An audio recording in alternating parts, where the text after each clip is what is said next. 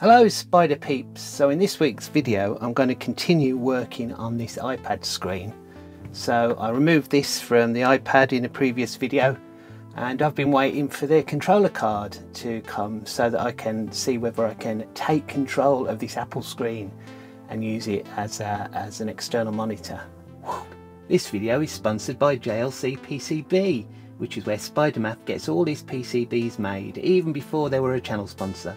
Okay, so here's, here's, here's the card. It's arrived. What a weird packet. This wasn't in a, a plastic bag. It's just arrived like that. It's uh, the the uh, the customs Dwayne sticker on there. Um, nothing to do with Duane Dibbley. But I always laugh when I see Dwayne. And uh, Spidermaf's address is on the other side. All right, so let's let's get into this. It's so weird. I thought I needed to do a box opening for this because uh, very strange. Looks like it's had a very heavy bag, very heavy box put on it. Maybe some engineering weights.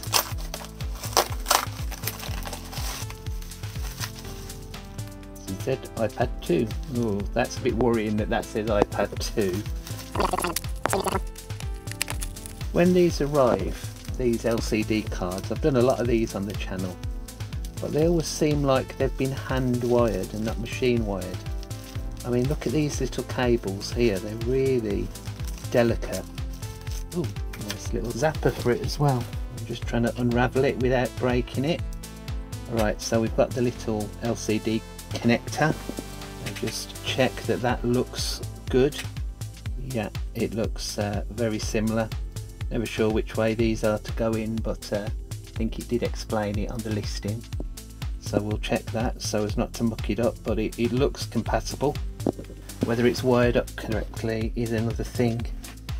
I've got another board. What's this board for? Oh, that must be... It looks like that's an inverter board. Maybe it's just a power board. It could be. It's got a coil on there, so it looks like that's probably a power chip. That's good. And then we've got the buttons on the other side. It's working out how to fit it into the case now.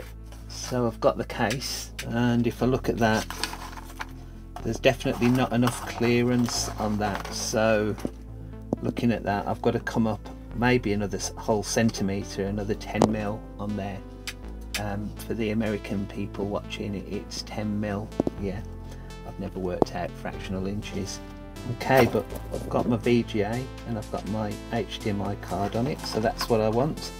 So I need to find a way of getting that to the outside, uh, getting this to the outside and just connecting these and putting them onto the board and finding a um, like an I.O. port model for that which I can put into my OpenSCAD but actually looking at it really there's one two three four four holes and they could all be squares Tell you what, I've got an idea.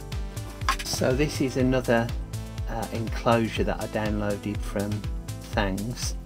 And one of the things that you can do, if you find one that's compatible, you can actually use the slicer to connect the two things together and sort of take one from the other uh, or add them together, um, which means that I could use something like that.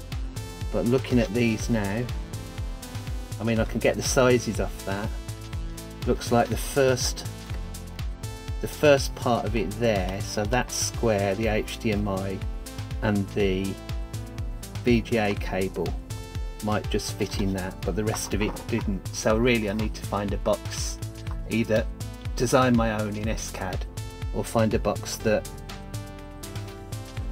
I can download and add to this model below with the slicer. It probably would be better if I designed the whole thing in SCAD to be honest. Let's just quickly work on the case. Now obviously uh, this case that I did isn't big enough, it's slightly shallower than it should be. I have adjusted it on my OpenSCAD. Then the next thing to work out what to do is to put the holes for these ports on the side of the case.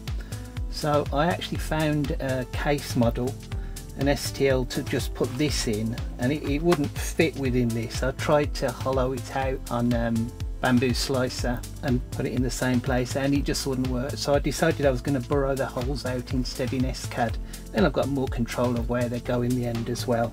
But I did get this little part which I chopped out of the um, original model for the case and then I used that to fit in there like so so. So I knew that was the right thing to do and I knew that would be the right size. So then I measured that and let's go to SCAD and I'll show you what I did next. So SCAD mostly is just drawing primitives. So you see here I drew three cubes the, each of these three pieces there and they represent the holes that I'm going to dig out through the side of the case. And then the final one is a cylinder and a cube on top of each other. So this final thing is just a circle with a square on the bottom of it. Then I, I, messed about with the sizes of the cubes. So they weren't technically cubes but they were square solids. Well they were solids. What's it called? They were 90 degree angle solid objects. I, I don't know what it's called and then I'd laid them all out together like so. So the next thing I do is I need to um, rotate them. Okay, so you see now I've um, rotated those and I've moved them out a little bit as well. Okay, so now I've got all of that. What I've got to do is take that away from the original box. So I'll use a difference command for that. So let's uh, let's just set this back up the way it was okay so that's this difference there. So uh, this takes away the box from the other. Let's just turn the box back on as well. Okay so when I take those away from each other I've got these rather lovely holes in there. And the other thing that I want to do is to put a back thing here that will uh, stop these from being pushed back in when you plug something into it so I've just got another cube here. It's sort of a bar really I've got. And that should be the back of the card. Okay, so now I've got that set up, I need to make sure that, that these will all fit. So what I did, I sliced this a little bit more. So I just printed out some little bits, like this little bit here. This is a bit that's going to hook around there and hold the card in at the back. So you see that one that one didn't fit. Right get rid of that one. So here's another one I tried so I adjusted the the dimensions a little bit but then this one see that one is a bit too big. It's about half a millimeter too big. I wanted the tolerances to be really good. So uh, then I've tried this one and that one's almost correct. So that's that's what I need now Similarly for these panels, when I tried this in it worked fine but I don't know what I did when I was moving them about because they didn't work perfectly to begin with. So yeah, I tried that one, that was way out. So I tried it again, this one I was getting there then, this was too wide and I think that little bit there between was too big so I had to shift those over a little bit.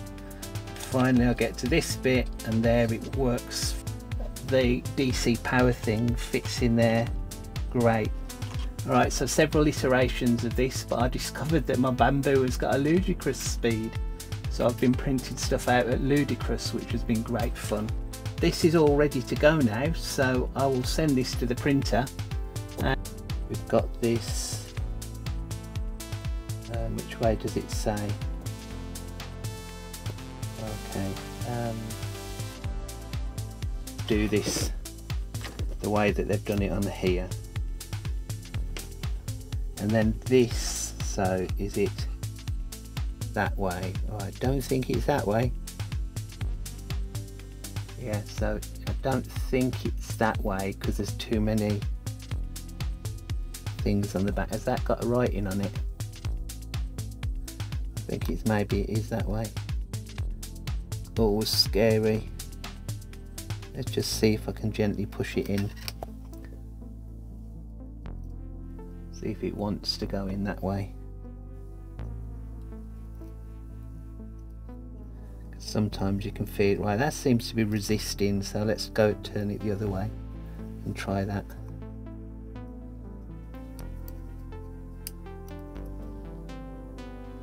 Oh yeah it looks like you can.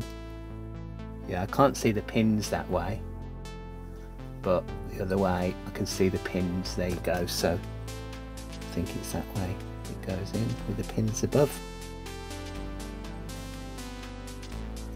Is that slightly bent?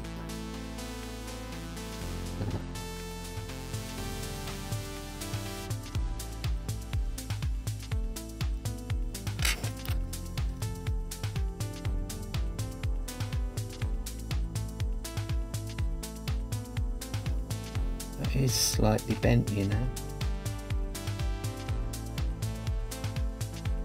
I'm just looking at the other one there, so that would be in reverse, wouldn't it? Yeah, so that would be in that way with the pins on the top. So is this the same? Yeah, I think it is the same, isn't it? Just checking. Seems slightly bent though, which isn't surprising the way that it arrived. Just the edge piece there. Let's be a bit scary. Just the edge piece there. See, it's slightly bent. I'll use these precision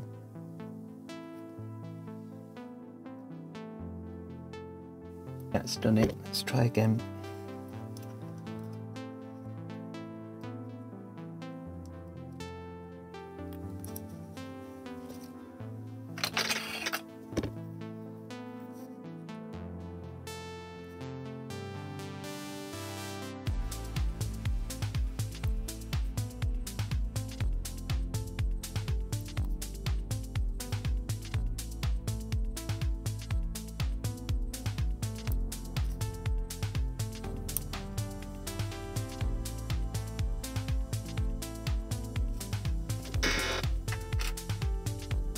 Hope that's okay. That was um, a bit scary.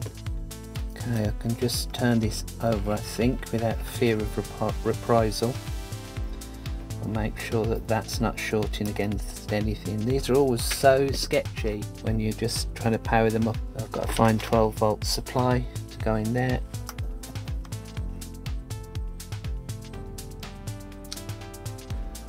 Looks promising. Yay! Alright, so yeah, that does work. So it's showing no signal, obviously. It's working exactly the same way as my uh, uh, video that I did here with the controller board. So probably all of these controllers are the same, are the same sort of thing.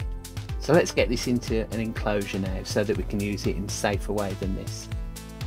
Okay, so it's the next day now, and here is the back of my iPad case. Yeah, so it, it's not the sleek design of the existing iPad, but let's just see whether my things fit in it.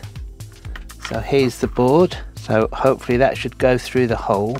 Yeah, it fits in there. And if I push on these, it's not going to push back into the box. So this is a bit bouncy. What I'm going to do is put a little tab on this maybe put a heat insert there so I can have a screw in it with something that will just come over and hold the board in place. I've noticed uh, one of the issues I've got, but I didn't really want to do this uh, until I'd got the board in place. I've got to work out where to put these. And maybe the side there is best place, but uh, I'm going to have to do a version 2 of this case to make sure I've got the buttons working, but I'm not going to do that in this video. But you'll no doubt see this screen in uh, later videos when I get to use it on something. We've already seen this working, so let's assemble this then and I put a helpful little bit of red on this now so that I can tell which is the correct way fiddly as it always is but that's the way that goes in there. Can I get it in quicker than I did last time?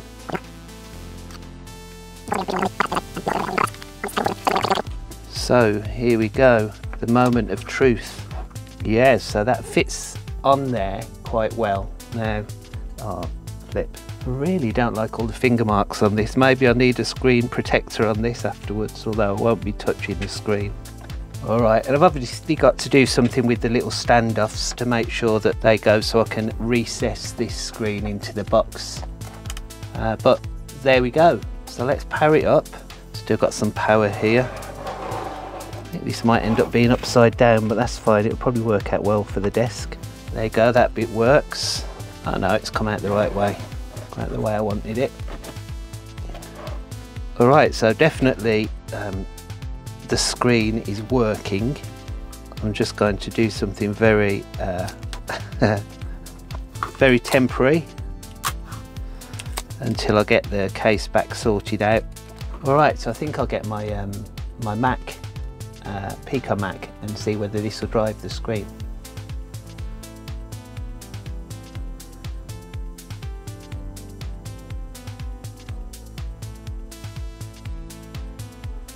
Well, looks like it's locked into HDMI and doesn't have a hunt.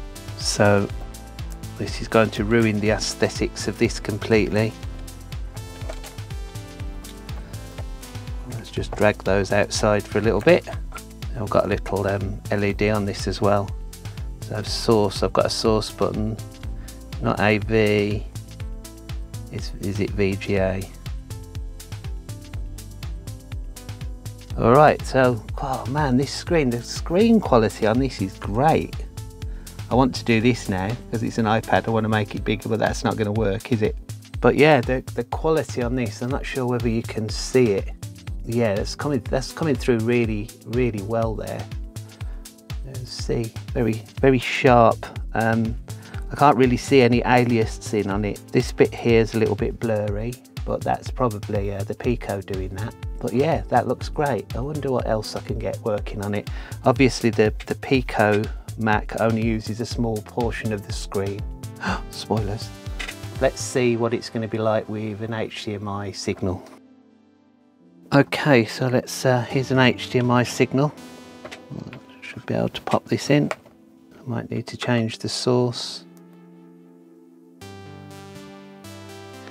Okay, yeah, so it, uh, it makes a lovely cosy fireplace. So this is just something playing off YouTube, but that's cool. Yeah, so uh, this is a bit of an inception moment, isn't it? a video about my old iPad being played on my old iPad. Yeah, so if you haven't seen this video, there's a link to this here, a link in the description as well, where I took apart this iPad. If you're uh, new to the channel, have a look at this video which shows you how I disassemble the iPad and the first part of this journey. But yeah, I think uh, I obviously need some tidying up to do. This is not ideal. I need to put the buttons on the side and uh, lower this into the case. But I think this is going to make an absolutely great preview monitor so I can see what I'm doing in the cave. I think I'm really happy with this as a pretty fantastic screen actually. Alright, so I hope you've enjoyed this video. Please subscribe and see uh, the next video. I gave you a really sneak preview of the update to my Pico board. You'll see that coming out soon as well. Uh, if you enjoyed this, please subscribe if you're not already. Uh, please give me a like. But otherwise, bye!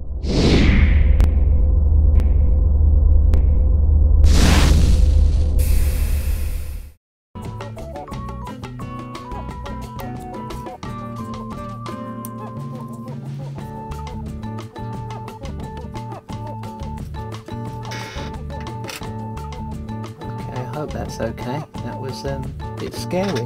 So let's power this up. Should I be worried about the uh, amount of feedback these guys have got? Mm, no. Extra thousand, probably safe.